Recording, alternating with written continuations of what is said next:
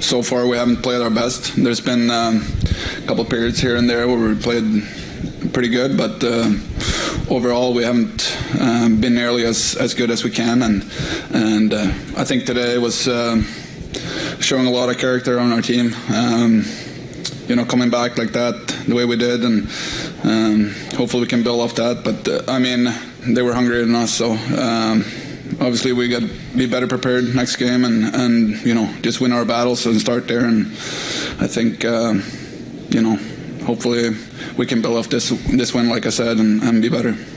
Yeah, I think there's been times this year where we showed a lot of character. You know, I think that's prepared us for this this moment, and um, I think the the message is you never you can't you can't give up until the, the final horn. Um, you know, we didn't give up there, and we continued to battle back, and we felt that momentum shift once we tied it up, and we were feeling really good going into overtime. We, we knew we had to stay patient, and um, you know, obviously we scored pretty fast, so you didn't have to stay that patient. But um, I think we all had the mindset that we need to stay patient, you know, play above, and, and you know, just see what we can do.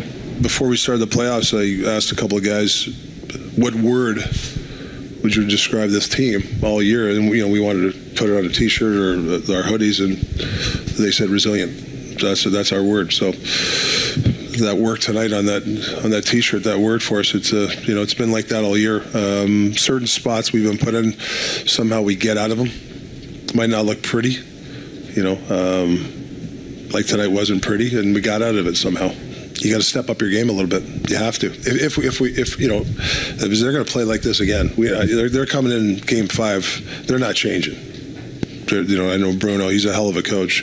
His game plan's there. They're sending three at us, and if we're not ready for it, you know, we might not be able to be as resilient the next game.